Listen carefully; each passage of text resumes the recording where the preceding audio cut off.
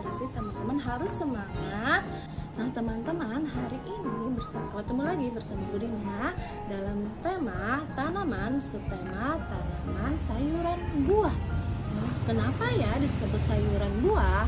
Karena tanaman ini memiliki bunga dan buahnya memiliki banyak biji di dalamnya. Nah, ada yang tahu yang Budina maksud itu tanaman apa?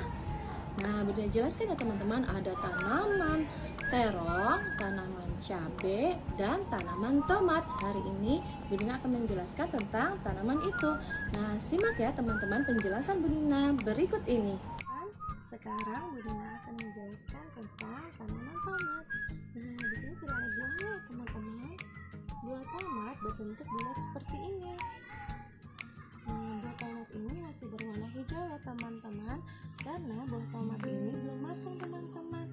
Sudah matang, buah tomat ini akan berwarna merah kekuningan. Buah tomat ini banyak mengandung air loh teman-teman dan berdaging loh banyak dan di dalamnya terdapat banyak biji.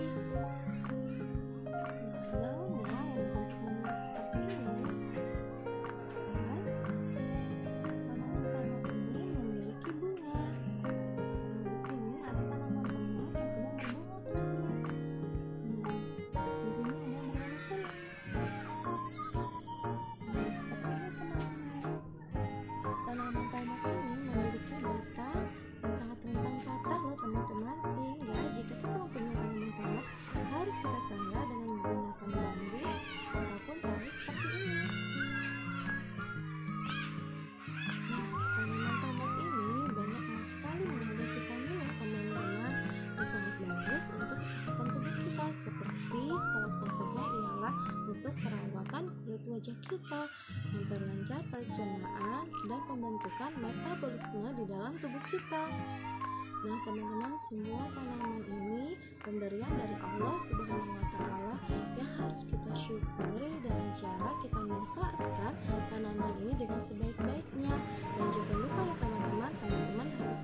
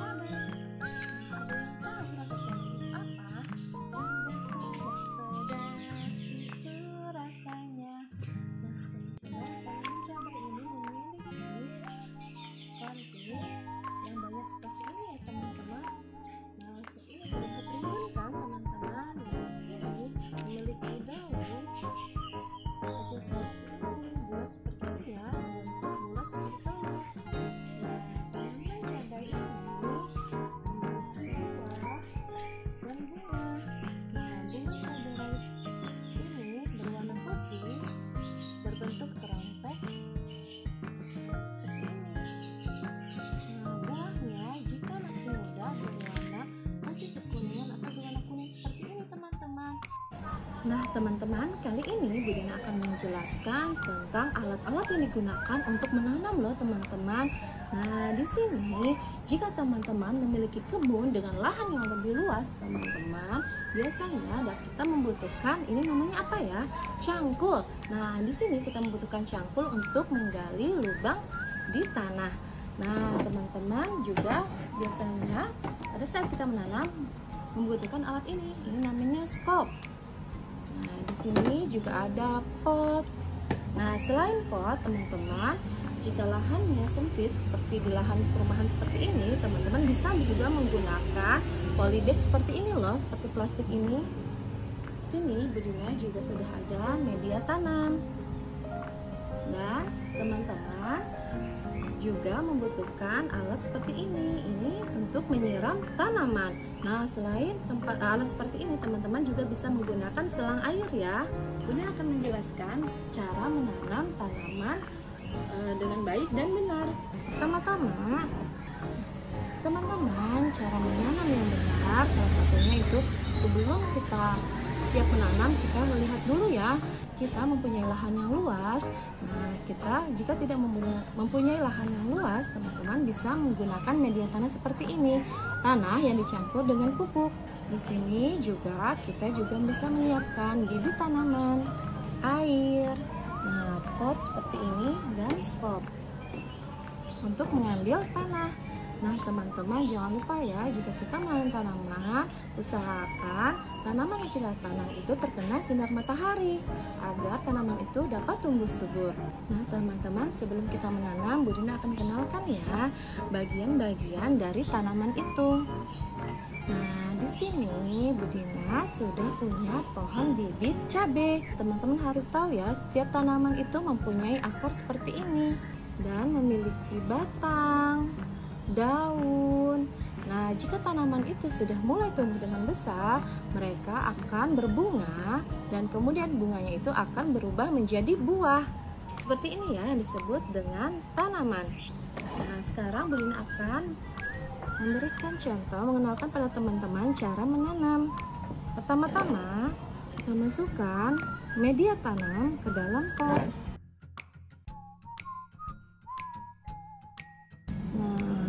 Kita isi separuhnya dulu ya teman-teman. Kemudian, tanaman yang akan kita tanam, kita taruh di dalamnya. Kemudian, kita isi kembali dengan tanah yang sudah dicampur oleh pupuk.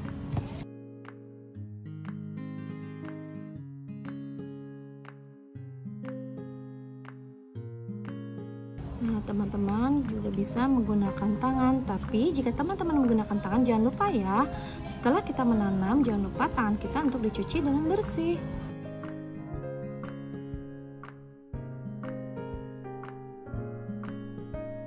Menanam cabai sudah kita pindahkan ke dalam pot. Nah, teman-teman seperti ini ya cara menanam tanaman. Yang perlu kita ketahui selain cara menanam, kita juga harus tahu loh cara merawat tanaman itu. Nah, seperti tanaman ini harus kita siram setiap hari, pagi dan sore hari. Nah, mengapa kita harus siram? Agar tanaman ini tidak mudah layu. Nah, teman-teman, selain dengan Cara menyiram, kita dapat merawat tanaman dengan cara memberi pupuk pada tanaman ini. Tanah pada tanaman ini subur dan tanaman ini akan tumbuh dengan subur dan kita akan memetik hasilnya dari tanaman ini. Nah, teman-teman, seperti ini ya cara kita menyiram tanaman. Dan jangan lupa, teman-teman, tanaman yang sudah kita tanam usahakan harus terkena sinar matahari. Nah, seperti ini ya teman-teman, tanaman yang kita tanam harus terkena sinar matahari. Nah, sekian penjelasan dari Bu Dina tentang cara menanam tanaman dan merawatnya. Semoga bermanfaat. Assalamualaikum warahmatullahi wabarakatuh. Teman-teman, tugas selanjutnya ialah mengurutkan proses pertumbuhan tanaman. Teman-teman, seperti yang penjelasan Nina hari ini, kita akan mengurutkan proses pertumbuhan tanaman. Nah, di sini ada gambar loh tanaman, pertumbuhan tanaman dimulai dari biji yang kita tanam, kemudian tumbuh, akar, kemudian berkembang lagi, tumbuh tunasnya kecil, kemudian berkembang, berkembang dan tumbuhan itu berkembang besar, kemudian menghasilkan buah. Nah, teman-teman bisa urutkan mulai dari urutan pertama, saat urutan pertama, kedua, ketiga, keempat, kelima, keenam. Nah, teman-teman bisa urutkan ya dari angka 1, 2, 3, 4, 5 sampai selesai mana pertumbuhan tanaman yang pertama. Nah, boleh kasih contoh ya, cara pertumbuhan tanaman atau proses pertumbuhan tanaman yang pertama.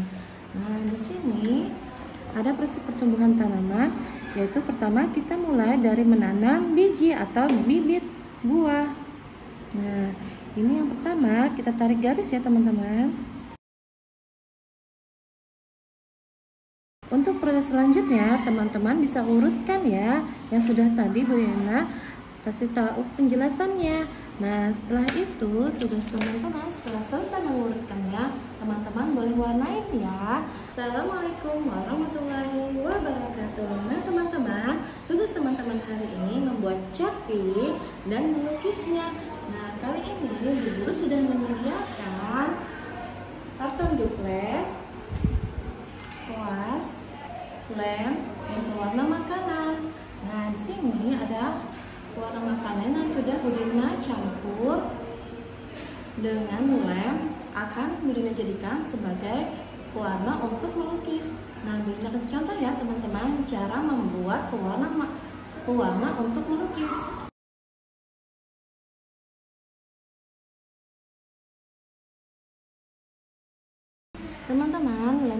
Ini sebagai pengganti cat air. Teman-teman jika di rumah sudah punya cat air, boleh kok menggunakan cat air. Nah, seperti ini ya. Lem sudah dicampur dengan pewarna. Nah, sekarang kita siapkan karton yang sudah diberikan, kemudian kita lipat dulu seperti ini dulu ya teman-teman. Nah, setelah itu kita lipat lagi setengah lingkaran. Teman-teman sudah lihat di sini ada garis dan titik tengahnya seperti ini. Kita akan gunting salah satu sudutnya. Nah, gini ambil yang ini ya. Teman-teman boleh minta bantuan Bunda untuk menggunting. Nah, setelah kita gunting seperti ini, kemudian kita lipat ya, membentuk kerucut. dengan menggunakan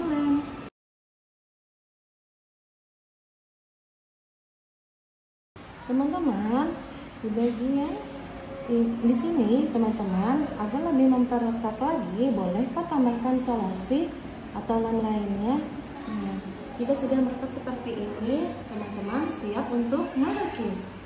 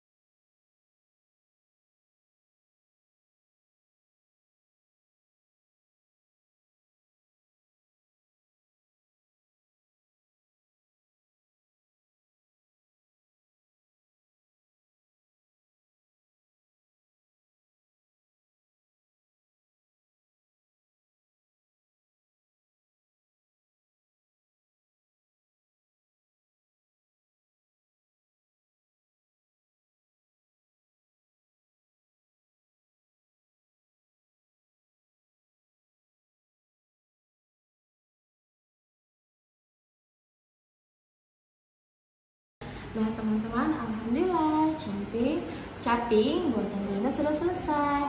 Nah berjalan tunggu ya kreasi dari teman-teman. Nah teman-teman bisa gunakan seperti ini. Nah cantik kan?